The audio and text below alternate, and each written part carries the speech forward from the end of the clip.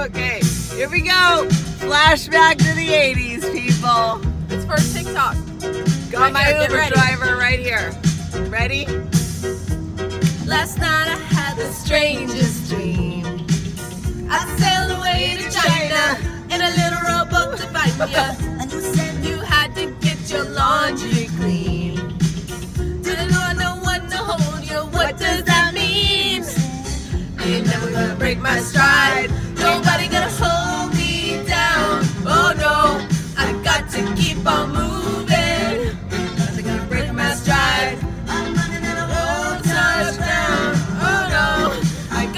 keep on moving. That's it.